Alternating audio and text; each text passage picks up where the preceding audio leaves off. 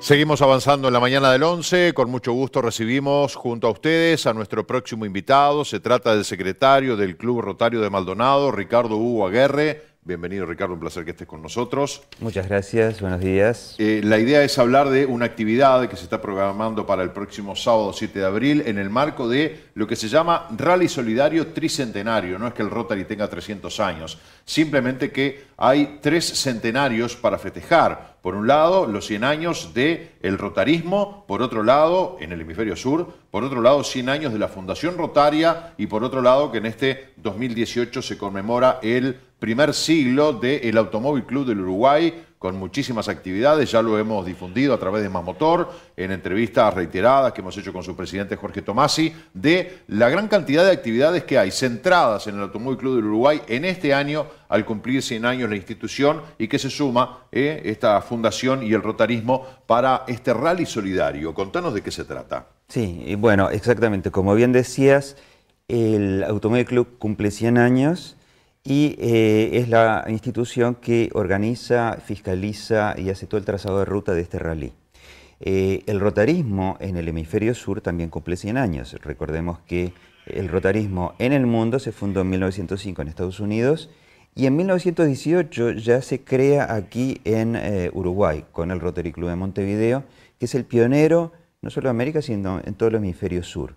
El Rotary Club Montevideo es padrino después de clubes tan importantes como Buenos Aires, Río de Janeiro, Santiago.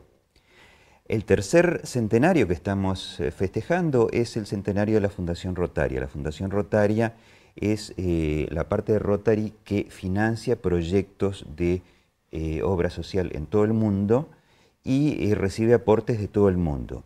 El principal aporte que recibe la Fundación Rotaria, ¿sabes de quién es? De la Fundación de Bill Gates. Bill y Melinda Gates eh, es el, eh, uno de los mayores eh, impulsores de la Fundación. Los creadores de Microsoft. Exactamente. Y uno de los hombres más ricos del mundo, el más rico o el, o el segundo según, según cómo se mida, pero es importante que una persona tan, digamos, destacada en el mundo como él aporta a la Fundación Rotaria muchos miles de millones de dólares, justamente para hacer el, obras en el mundo. Qué bueno, es importante eso de la creación de la conciencia, de figuras encumbradas desde el punto de vista de la tecnología y desde el punto de vista intelectual, eh, que son este, figuras mundiales y que además tienen un poder económico importante, que se fijen en este tipo de identidad y en lo que ellas hacen como para poderlas ayudar, porque lamentablemente en el mundo que vivimos hoy, sin la ayuda económica, por más que sean cosas de mucho condimento espiritual y mucho contenido de nosotros mismos, pero necesitamos del dinero. Entonces es fundamental el apoyo de estas personalidades. Exactamente. Eh, uno de los eh, proyectos más importantes, yo diría el proyecto emblemático que tiene la Fundación Rotaria en el mundo, es la erradicación de la polio en el mundo. Es decir, desde 1985 hay un proyecto en el cual se, han vacunado miles de millones de niños y se ha prácticamente erradicado la polio en el mundo con este movimiento de Rotary, eh, digamos, eh, asociada con la Organización Mundial de la Salud, pero básicamente son rotarios que van y vacunan personalmente a, niños, digamos, la gotita en la boca, tanto es así que, han quedado solamente un par de países, que son Pakistán y Afganistán, donde se han registrado del orden de 20 casos eh, este año. Pero eh, como ves, digamos... Países en guerra además, ¿no? con muchísimo conflicto. Y países con mucha dificultad, para acceso, acceso y, con un tema también cultural importante, porque hay, mm. ciertas restricciones que la cultura y la religión imponen, este y, entonces es muy difícil eh, la llegada. Pero eso te habla de la realmente efectividad que, hace, que tiene Rotary en, eh, en los proyectos que, eh, que, emprende. Y justamente el rally este que estamos haciendo es un rally que lo hemos bautizado Rally Solidario porque eh, la idea es recaudar fondos para las obras sociales. Y un poco estoy aquí hoy para invitar a la teleaudiencia a venir a divertirse y al mismo tiempo colaborar con las obras sociales. Es un rally de regularidad, esto debe quedar claro, no es un rally de velocidad, puede participar gente amateur, gente profesional, gente principiante con su auto de calle, eh, no tienen que tener un auto preparado, no tienen que tener la experiencia de ser pilotos oficiales o profesionales de rally. Es una cuestión amigable que tiene este perfil deportivo, entretenido, con un poquito de adrenalina, pero que además, como señalabas tú, tiene este trasfondo de estar colaborando con obras sociales eh, que lleva adelante el Rotary. O sea que voy, me divierto, paso un día estupendo, porque veíamos el mapa recién este, que recorre lugares muy lindos del departamento de Maldonado, todo el eje de la ruta 39 hasta Iguá, después la zona de manantiales, y además estoy, estoy ayudando, o sea, con mi diversión estoy ayudando eh, socialmente, que eh, está muy bueno eso. Correcto, muy buena tu apreciación. Realmente nosotros o mucha gente tiene la imagen del rally eh, de esos autos corriendo por barriales, lodazales, atravesando ríos y este, dunas, eh, nada de eso. Este es un rally de regularidad, no de velocidad, en el cual prima el espíritu solidario más que el espíritu de, competición. Va a transitar por rutas nacionales en muy buen estado, lo cual no supone... La ruta 39 hasta Iguá está, impecable. Está perfecta, exactamente. Eh, bien decías, el recorrido, digamos, vamos a salir de la Casa Rotaria, que está en Avenida Roosevelt, en la parada 10, de ahí a la, Barra, de ahí Camino de Busquiza, Ruta 9, Ruta 39 hasta Aiguá, ahí hacemos una, parada en Aiguá. ¿Los va a recibir la alcaldía de Aiguá? Estamos en, esas, eh, en ese proceso, pero sí, ya la alcaldía de Aiguá en otras oportunidades ha hecho este tipo de recibimientos, eh, tiene un, muy acogedor, muy cálido, y así que este, pensamos eh, justamente eh, eso también. Volvemos por ruta 39, la 104 hasta Manantiales, terminando ahí el rally. Después volvemos a Casa Rotaria, en la cual hacemos una cena de camaradería y la entrega de premios. Eh, es importante destacar, digamos, que este circuito no implica ningún riesgo para los autos. Como bien decías, tenemos tres categorías. Tenemos la categoría debutante en la cual puede participar todo el mundo, porque la idea es ir a divertirse, ir de repente piloto que piloto y llevarlo a los hijos o los nietos este, en el auto como, como paseo. No van a ser velocidades eh, excesivas. Tenemos una categoría amateur para la gente que ya tiene alguna experiencia y tenemos eh, la categoría de profesionales para la gente que sí, que va con su auto ya preparado, que, que, que acostumbran correr y que, bueno, y que van a ir al segundo. El rally de regularidad se mm, destaca por tener una serie de puntos de control en, el, trazado y uno tiene que pasar por esos puntos de control al minuto y segundo exacto. Y obviamente el que es más regular es el que gana la competencia. No es fácil la regularidad. Para nada. Uno piensa que de pronto decir, bueno, yo pongo el auto a 60 o 70 y me mantengo allí, ya está. No, no es, no es así porque además hay que controlar la sinuosidad de la ruta, este, subidas y bajadas el mantener la velocidad en sí no es nada fácil. Hoy en día tenemos autos con velocidad crucero que, bueno, es una papa, pero en realidad este, la mayoría no se trata de eso, sino de una cuestión de, talento y de atención y de, un poco de, ganas y de oficio para mantener esa regularidad y cumplir con todos esos este, puntos de control que van a establecer, bueno, tal vehículo fue el más regular en el trayecto y es el ganador del premio. Exacto. Y aquí se destaca la labor del copiloto, porque el copiloto es el que tiene que indicarle al piloto, bueno, más rápido, más lento, aquí y allá, recuperar tiempo si hubo pérdida de tiempo. Entonces es fundamental que el copiloto, que es además el que lleva el. Claro, va trabajando con el tiempo, con la distancia, con la este, velocidad. Y marcando el pasaje por los puntos de control. Em, quisiera comentar un poco del tema de los costos. Eso te iba a preguntar. El costo eh, por vehículo, por tripulación, son 2.000 pesos eso incluye el piloto, el copiloto, incluye la cena de camaradería al final e incluye el seguro para el vehículo, porque como ustedes saben, el vehículo particular tiene su seguro particular, pero esos seguros tienen cláusulas de exclusión que no cubren competencias deportivas. Entonces uno podría pensar, bueno, voy con mi auto, claro, lo tengo asegurado, estoy asegurado, no. Pero como eh, quedan al descubierto, en este caso hay un seguro específico que contratan ustedes y que lo trasladan a los competidores que, para que estén todos para que esté todo cubierto. Por otro lado, es el Automóvil Club el que organiza todo el trazado de la ruta, la fiscalización, lo cual es una garantía. Como bien decías al principio, esto es una actividad más en el marco del festejo del centenario de la creación del Automóvil Club y em, quería agregar de que a veces hay personas que tienen su, comercio, su, marca y quisieran hacer publicidad en su vehículo, por mil pesos adicionales podemos eh, poner la, publicidad en su vehículo. Obviamente también estamos eh, vendiendo publicidad, buscando sponsors que van a ser en función de stickers en los autos, en el capó, en las puertas, o eh, banderas y banners en los puntos de largada y llegada, y eso también es una posibilidad que tienen las personas para colaborar con esto, que en definitiva es lo que se apunta a un espíritu de colaboración con las obras. Eh, no me quedó claro eso de que pueden poner este, el aviso de su negocio. O sea, yo tengo una ferretería. Claro, vos tenés una ferretería, eh, tenés un sticker de tu ferretería. pero para ponerlo en mi auto, lo pones en tu auto. ¿Y tengo que pagar? Eh, mil pesos por, por, por, la publicidad en tu, en tu auto, claro. Es una posibilidad, digamos, adicional. Bien. Bueno, muy bien. Así que, ¿y para inscribirse cómo hacen? ¿Dónde tienen que ir o es vía internet? A ver, tenemos eh, dos maneras. Eh, una, tenemos una dirección de correo electrónico que es rallyrotariomaldonado.gmail.com Lo repito, rallyrotariomaldonado.gmail.com Rally con eh, doble L e Y nos envían un, correo ahí y eh, les enviamos el formulario para inscripción y la forma de, hacer el depósito. También tenemos un teléfono que es el 095-112-794, repito, 095-112-794, por si quisieran solicitar información adicional y además también para la contratación de la publicidad si hubiera personas que estuvieran interesadas en, participar de esa manera. Muy bien.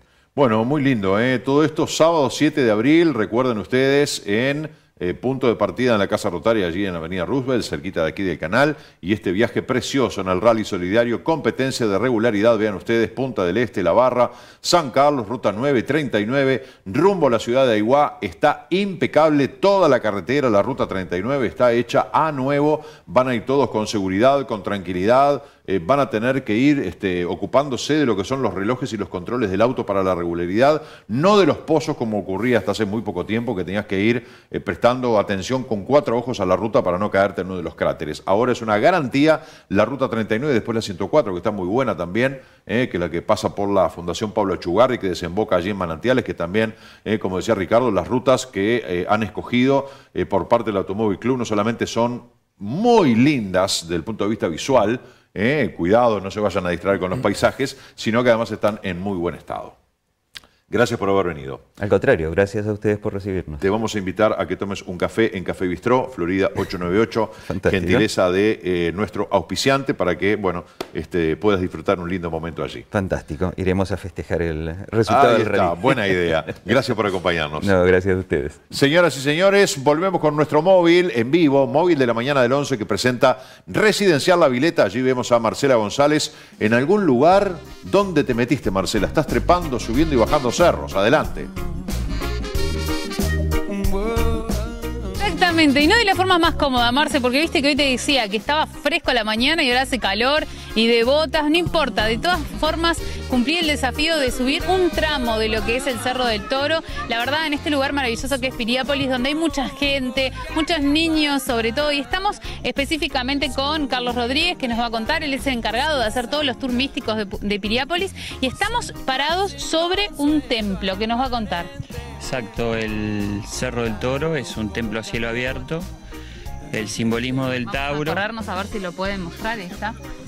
Sí, el simbolismo del Tauro, este, el altar iniciático para que el hombre renazca y se encuentre consigo mismo, con toda la fuerza de la creación. Además, este lugar es un gran centro vibracional donde el campo geomagnético, las líneas de fuerza son más anchas de lo normal y es un buen lugar para medir a venir a meditar y trabajar también a, ritual o iniciáticamente. Qué lindo. ¿Esto es parte del templo también, esta parte?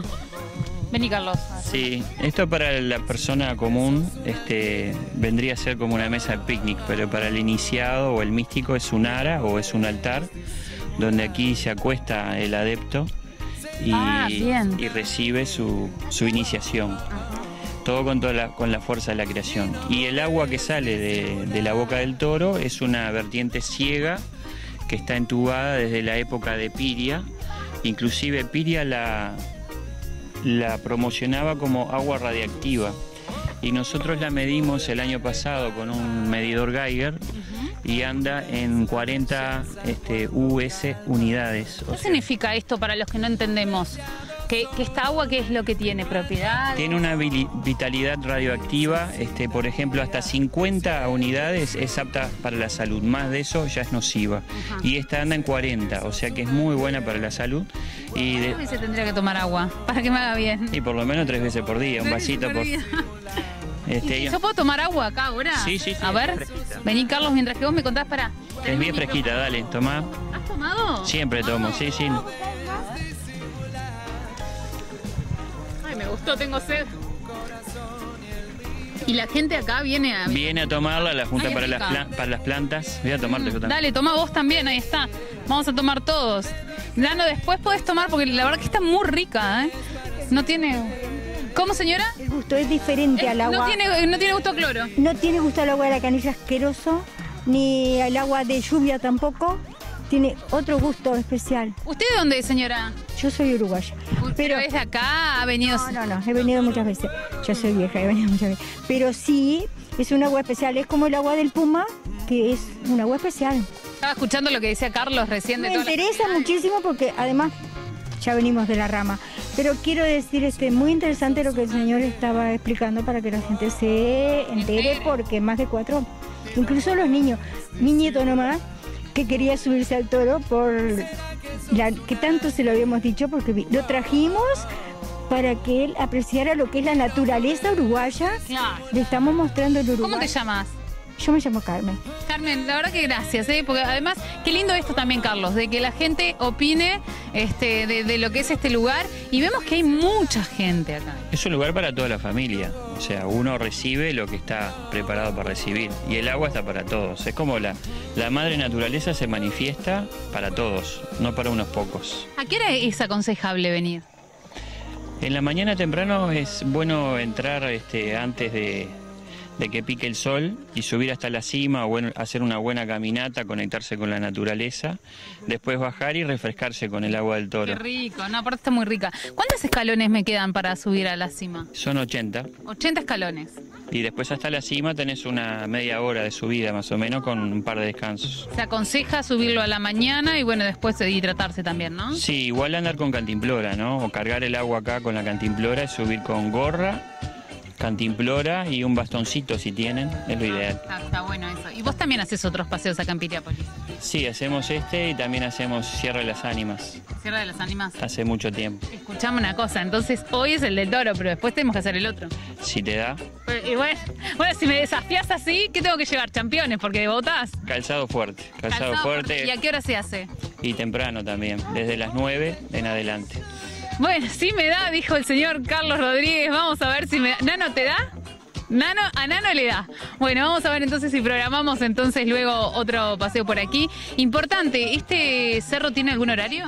Sí, tiene un horario desde las 9 de la mañana hasta las 19.30 ahora en horario de, de vendría a ser de verano o de turismo. Después ella cuando se pone el sol se cierra. ¿Y cómo nos contactamos con vos si queremos eh, tomar los tours? Eh, a ProTour Piriápolis o si no al celular o WhatsApp 099-152-953. Otra de las atracciones, Marce, que tiene Piriápolis, este es el Cerro del Toro. Bueno, donde la verdad que vemos que hay bastante gente que está disfrutando de esta semana de turismo, Semana Santa. Así que bueno, ustedes también pueden venir a disfrutar de esto y conocer un poquito más de la historia también. Que tiene, es- tiene un montón de historia Piriápolis y es riquísima en ella. Marce, nos tenemos que despedir. Nos despedimos con vos, Carlos. Gracias. Muy bien. Nos Gracias a todos. No- Nos vamos con el agua, tomando agua, Marce. si te pare- ¿Querés que te lleve un poquito? Y si te ¿Querés, da, Marce, un poquito de agua? Ay, si me da. ¿Viste qué desafío? Y si me da. La verdad que está, está buenísima. Súper fresca. qué bueno, ¿eh? No Este, tengo- Seguro que hay mucha gente que ni sabía, que ni Si sabía no, de la juro que te la existencia, llevaba. eh, que hay mucha gente que ni sabía de la existencia de este toro en el cerro homónimo y de esa agua que le sale por la boca, lo que significa, las propiedades, la pureza, la posibilidad del paseo, de la caminata, de conocer un lugar que tiene mucha historia. Hay muchas cosas que están encriptadas de pronto bajo un frondoso follaje de un cerro y que lo vemos simplemente como una elevación más, como un accidente geográfico y capaz que no sabemos toda la riqueza que hay, todo lo que podemos aprender visitando estos lugares que los tenemos aquí, cerquita, al alcance de la mano, gratuitos, libres para todo el público. Es realmente fabuloso, así que muchísimas gracias Marcela por este aporte, gracias a Carlos también por habernos dado toda esta información. Y cerramos el trabajo del móvil de la mañana del 11. Gracias Marcela y Mariano. Será hasta mañana. Ahora les propongo hacer una pausa y ya volvemos.